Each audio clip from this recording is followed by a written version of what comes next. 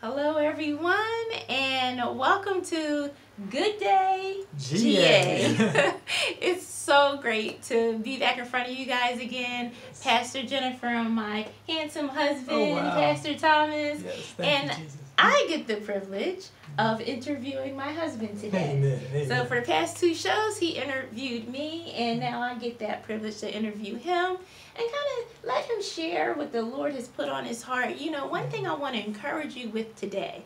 We have all been given a specific message from the Lord, something that is just in your spirit, and He placed it there. And this is something I love to hear my husband talk about. Um, his his steps Mm. to making the Bible come to life for you. Mm. That's something that all of us can benefit from. So we're going to get right into it. so so from just from hearing you speak on this, I know you said it's about seven steps or Right, so right. that that took you a bit along the journey of allowing the Bible to come to life for you kind of throughout your life. Why don't you want to share on that? Oh, yeah, most definitely. Um, this is something that I feel like was almost like a um, a blueprint Mm-hmm. for Christians to walk through to um, get to maturity in Christ. You know, uh, one of the things, like I always say, that like in my twenties when I, you know, I, I was saved when I was seventeen, really didn't take it real, real serious. Mhm. you know, and then you know around my twenties and late teens, it was more so about reading the Bible for information. Mhm. You know, I'm always you know just trying to stay current. Uh, you know, uh, grew up in in uh, church, Mhm. and by growing up in church, of course, you know you need to at least know something know about the Bible. Some scriptures. Yeah, right. So I just I wanted to know some scriptures. So Right. you know, uh, it was just important to me, but it wasn't everything to me at Mhm. the time. hmm And then when I started moving into my career, moving into my thirties, uh, when I was reading the Bible, it was more so about um, getting the inspiration Mm. and the motivation Okay. to actually you know uh, do my job better and, Right. to, to, and to do life better but Mhm. it really wasn't about being a christian better it was more so about you know really tapping into what god has for me that i can use to better myself so it's more of a selfish motivation. oh most definitely. How you could use the information for yourself. most definitely So the first one was information. information The yeah. second one was inspiration, Inspiration. and motivation. and motivation. Now, Okay. you know, when I think of inspiration, I think of when I was reading the Bible and whatever I saw in the Bible, it came into me and motivate. It, it came into me and inspired me Mhm. to do things that I wasn't really thinking about doing. Okay. You know, because it was it was something that I wanted to get in to. me. Mhm. So so, so in other words, you Mhm. use the Bible kind of like a self-help book.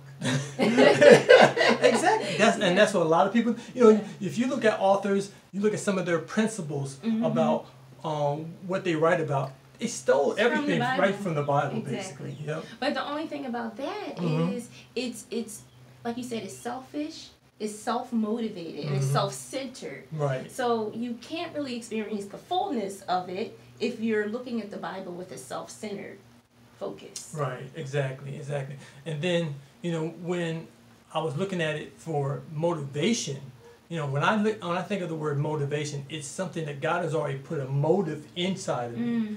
And when I tapped into His Word, it triggered something in me to do what He wanted me to do. Oh, okay. You know, so that was, you know, that was some of my my um, motivation for reading the Bible. You know, Right, and to try to get closer to Him, and, and and really, I thought that that was going to change my life. Mhm.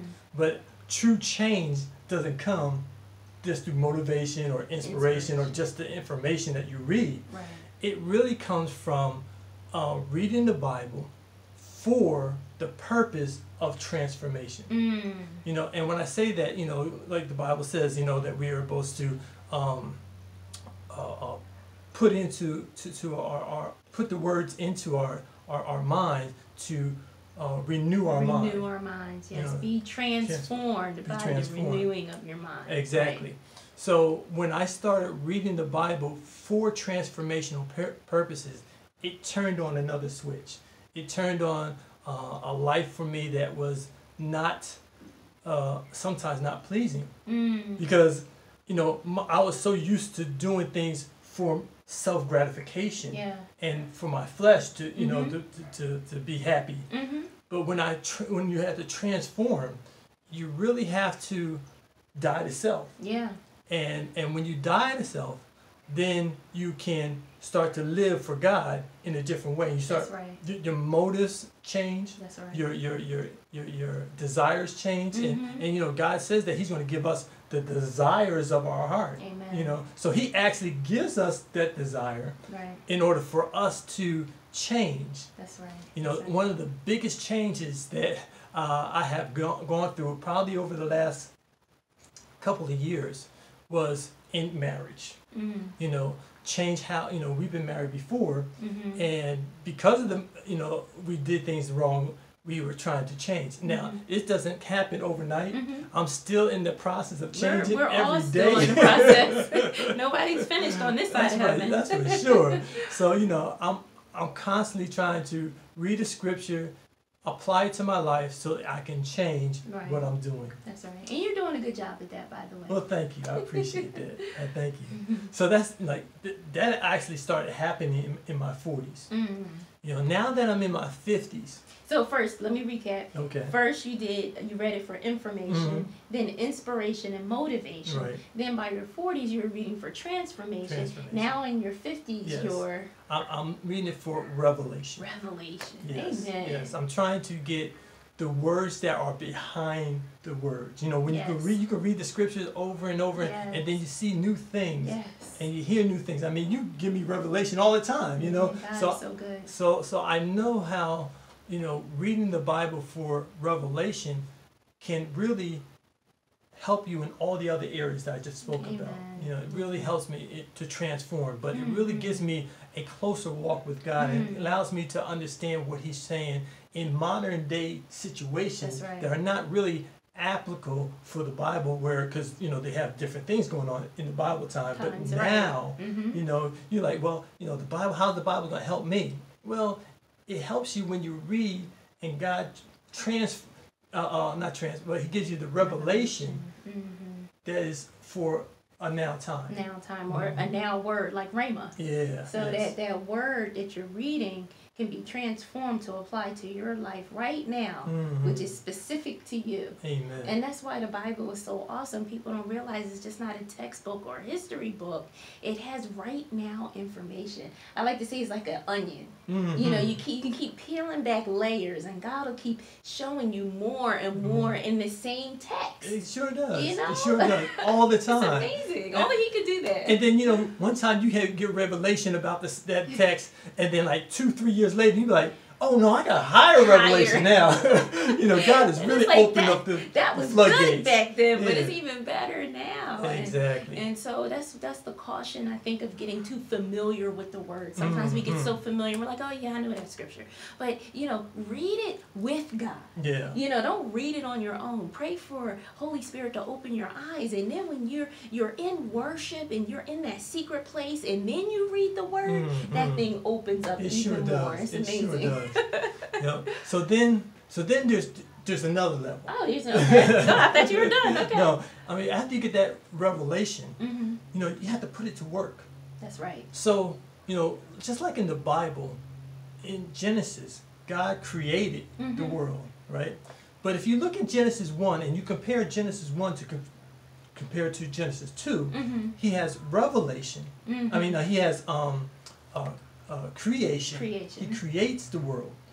But in chapter 2, he actually formates the world. Okay. You know? So it's like a person who has a house, who, who builds a house. They have the, the blueprints, hmm and that's given to him by his mind, by, by their mind. That's right. You know, uh, one of the scriptures says that we are created in his likeness, hmm but in his Image. That's right. Come on now. Right. So his image is like his imagination. Hallelujah. You know, so he created us up, up here, and he gives us the same um, uh, capabilities to Mhm. create down here, That's right. up here 1st Mm-hmm. So the next step is you have to create up here.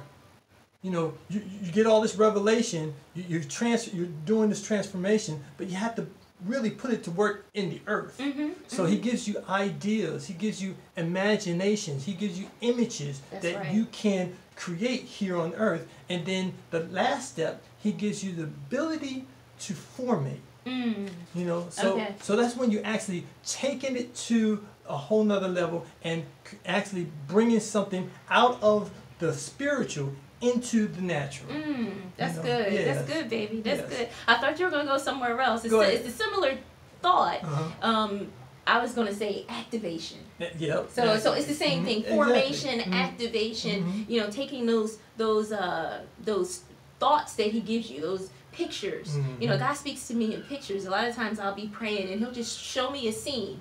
You know, sometimes it's quick, sometimes it's long, but it's a scene. It's in my imagination, and I used to dismiss that before. Yeah, But now I realize that that's how he speaks to me. exactly. So you, I hold on to that thing, I meditate on it, I mm-hmm. speak it, we talk about it, we pray over it, and that's actually activating or bringing it into It's formation. yes, that's amen, good. amen. Amen. Don't ha- hallelujah, Holy Spirit. Because? I was about to give you credit, but you know we gotta give him credit. it's all for that. him. It's all him. That's for sure. That's awesome. So yeah, so those are the steps that I believe that anyone can take That's that right. gets them closer to God. It also gets them um, activated Right. here on earth That's to right. actually take the word and do something with it. So let's it. recap that. Mhm. First, you you uh, read for information. Informa- information, Then it goes on to inspiration, inspiration and, and motivation. Mhm. Then you go on to reading it for Transformation. transformation. Then you uh, go on and Read the words behind the word with revelation. revelation, and then. Uh, then you have creation, creation, and then formation. formation, or Yes. activation. Or activation. I like that. I might change it to activation. I'll let you borrow that. yeah. Okay. Thank you very much, dude. No, that's really good. Yeah. I mean, that's great information Yes. because a lot of times we, we don't have a plan when we read the word. We just Exactly. we're opening it up. Sometimes people play what they call Bible bingo, and Mm-hmm. let me tell you, there's nothing wrong with that. We just open it up and see what's there.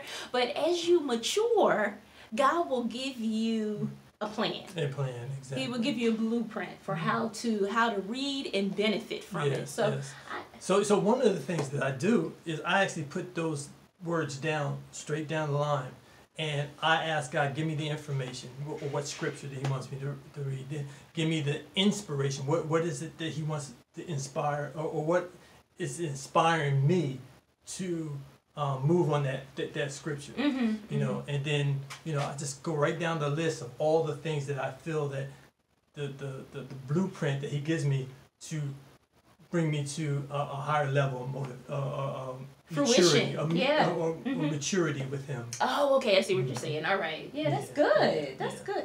Yeah. Well, dear, Hmm. our time is up for the day. Yeah. I want to thank you for sharing that with with our audience, with our Amen. friends, and our family, our Facebook I hope you family. can use it. Yeah, and that's that's what the whole purpose of um, our show is, just to Mhm. kind of share how God is taking us along our path, and and hopefully let that benefit you in some way. Amen. So, thanks for being with us, and we look forward to coming back to you with another episode of Good Day GA. GA.